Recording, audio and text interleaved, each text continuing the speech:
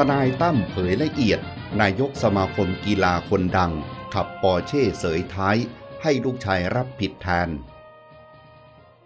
ผู้เสียหายเข้าพบทนายตั้มขอให้ช่วย กรณีเกิดอุบัติเหตุ ถูกรถปอร์เช่เสยท้าย คู่กรณีเป็นนายกสมาคมกีฬาชื่อดัง สภาพคล้ายเมาลงมาขอเจรจา อ้างรถไม่มีประกัน จะชดใช้ให้ทุกอย่าง แต่ขอเปลี่ยนตัวคนขับ แล้วให้ลูกชายมาที่เกิดเหตุสองคน โดยคนหนึ่งเป็นตำรวจ วางแผนให้พ่อกลับบ้านไปก่อน ส่วนลูกชายอีกคนไปโรงพัก รับสมอ้างเป็นคนขับ แต่หลังจากแจ้งราคาค่าซ่อมให้ทราบ กลับเงียบหายไป วันที่ 11 กรกฎาคม 2565 เวลา 12นาฬิกา52 นาทีไทยรัฐออนไลน์ รายงานว่า เมื่อเวลา 10นาฬิกา45 นาทีวันที่ 11 กรกฎาคม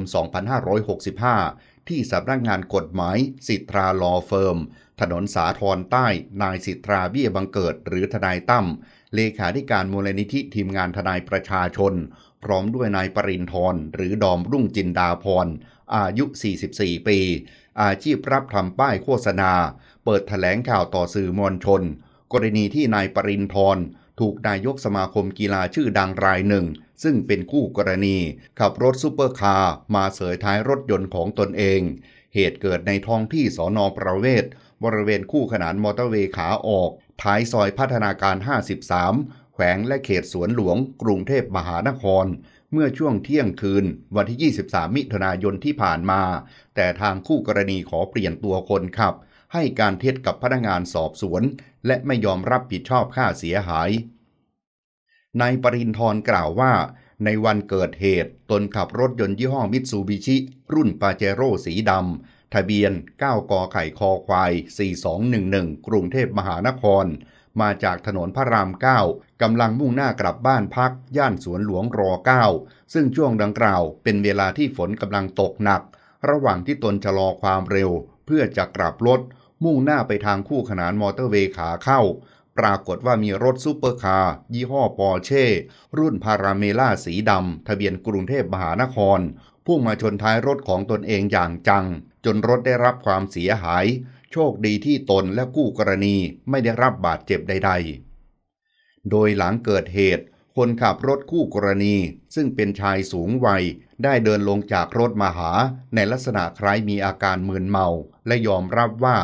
รถปอร์เช่คันดังกล่าวเป็นของบุตรชาย ไม่ได้ทำประกันเอาไว้ แต่ขอรับผิดชอบความเสียหายให้ทุกอย่าง โดยขอเปลี่ยนตัวคนขับ นายปรินทร์กล่าวอีกว่า สักพักคู่กรณีก็โทรศัพท์เรียกบุตรชายมาที่เกิดเหตุจำนวนสองคน ลูกชายหนึ่งในสองทราบว่ารับราชการตำรวจ เป็นผู้วางแผนให้พ่อเดินทางกลับบ้าน แล้วให้บุตรชายอีกคน เดินทางไปที่สอนอประเวศ เพื่อให้การกับพนักงานสอบสวนรับผิดแทนพ่อ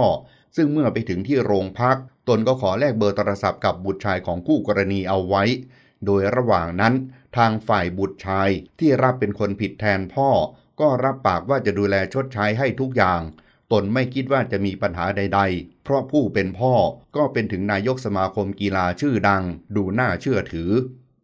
ประกอบกับขับรถราคาแพง และไม่คิดว่าจะมีปัญหาใด ๆ ทางกฎหมาย แต่ทว่าเมื่อตนโทรศัพท์ไปแจ้งราคาค่าซ่อมเบื้องต้น ที่อู่เฉพาะช่วงล่าง ราคา 130,000 บาท ยังไม่รวมราคาซ่อมเกียร์ และแจ้งค่าใช้จ่ายที่ต้องหารถเช่าขับไปทำงาน วันละ 1,000 บาท ให้ทางบุตรชายรับทราบ กลับถูกบ่ายเบียง และไม่สามารถติดต่อได้ ตั้งแต่วันที่ 26 มิถุนายนที่ผ่านมาจนถึงวันนี้ทำให้ต้องปรึกษากับทนายสิทธา และเปิดแถลงข่าวให้สื่อมวลชนทราบ เพื่อทวงความยุติธรรม ด้านนายสิทธากล่าวว่า กรณีนี้เรามีภาพจากกล้องวงจรปิดในที่เกิดเหตุ บันทึกภาพเหตุการณ์ และภาพของคู่กรณีที่แท้จริงเอาไว้ได้ชัดเจนทำให้ทราบว่าคนขับรถคู่กรณีนั้น คือนายกสมาคมกีฬาชื่อดังท่านหนึ่ง ส่วนในเอกสารที่ทางพนักงานสอบสวน ลงบันทึกชื่อผู้ขับเอาไว้ เป็นบุตรชายของท่าน เรื่องนี้ตนได้ประสานกับทางสอนอประเวศเอาไว้แล้ว ว่าจะพาผู้เสียหาย เดินทางเข้าไปพบพนักงานสอบสวนในเวลา 20นาฬิกาวันนี้ เพื่อแจ้งความเพิ่มเติม ซึ่งในส่วนของการกระทำความผิดของทางคู่กรณีที่เห็นได้ชัดตอนนี้มีอยู่ 4 ข้อหาคือ 1. ขับรถประมาท เป็นเหตุให้ทรัพย์สินผู้อื่นได้รับความเสียหาย 2. ชนแล้วหนี 3. แจ้งความเท็จ และ 4. ใช้รถไม่ตรงกับแผ่นป้ายทะเบียน เนื่องจากทางผู้เสียหายยืนยันว่า พนักงานสอบสวน ได้ตรวจสอบทะเบียนรถคู่กรณีแล้ว ไม่พบว่าตรงกับยี่ห้อและรุ่นของรถสำหรับความคืบหน้าคืนนี้ ขอให้สื่อมวลชนเดินทางไปติดตามได้ที่สอนอประเวศ ต่อมาเวลา 11นาฬิกา45 นาทีที่สำนักงานกฎหมายสิทธาลอเฟิร์ม ถนนสาทรใต้ ได้มีเสียงเรียกดังขึ้นจากโทรศัพท์ของนายปรินทร์โดยปลายสายคือบุตรชายของนายกสมาคมกีฬาชื่อดังคนดังกล่าวทำให้นายปรินทร์รับสาย และเปิดลำโพงให้ทุกฝ่ายได้ยิน โดยทั้งสองฝ่ายพูดคุยกันนานเกือบ 10 นาที ทั้งนี้สาระสำคัญคือทางคู่กรณี ได้สอบถามว่าจะให้ชดใช้เท่าใด ขอให้ไปคำนวณยอดเงินทั้งหมดมา ซึ่งในเบื้องต้นจะโอนเงินให้ก่อน 1 0 0 0 0แสนบาท เพื่อแลกกับการลบโพสต์ในโซเชียล แต่ก็ตกลงกันไม่ได้ ขณะที่นายสิทธายืนยันว่าการชดใช้ค่าเสียหายเป็นเรื่องทางแพ่ง แต่ตนจะพาผู้เสียหายไปสอนอประเวศ เพื่อแจ้งความอย่างแน่นอนในเวลา 20นาฬิกาวันนี้ และขอยืนยันว่าเรื่องที่เกิดขึ้น ไม่เกี่ยวกับครอบครัวพลตำรวจเอกสมยศพุ่มพันธ์ม่วง อดีตผู้บัญชาการตำรวจแห่งชาติ และนายกสมาคมฟุตบอลแห่งประเทศไทยแต่อย่างใด อย่างไรก็ตาม ในเวลาต่อมาพบว่า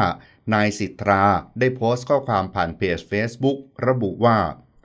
หลังจากข่าวนายกสมาคมกีฬาแห่งประเทศไทยสมาคมหนึ่งก่อเหตุชน แล้วให้ลูกชายที่เป็นตำรวจร่วมวางแผน เปลี่ยนคนขับ หนีหาย ติดต่อไม่ได้ ไม่ยอมรับผิดชอบค่าเสียหายเป็นข่าวดัง ตอนนี้ครอบครัวผู้กระทำผิด ก็ชดใช้ค่าเสียหายแล้วนะครับ แต่คดีอาญาก็ต้องดำเนินต่อไป เพราะความผิดเกิดแล้ว ยังไงตำรวจก็ต้องเรียกตัวนายกสมาคม ซึ่งเป็นคนขับ มารับทราบข้อหาขับรถชนแล้วหนีกับเรียกลูกชาย มารับทราบข้อหาแจ้งความเท็จกับพนักงานสอบสวน ผมอยากรู้จริง ๆ ถ้าไม่เป็นข่าว พวกคุณจะรับผิดชอบกับการกระทำตัวเองไหม ใครที่มีฐานะร่ำรวยกว่า อย่าใช้ยศใช้ตำแหน่ง เอาเปรียบคนที่เขามีน้อยกว่าเลยครับ ผมสัญญาว่าจะเป็นปากเป็นเสียงให้ชาวบ้านตาดำๆแบบนี้ต่อไป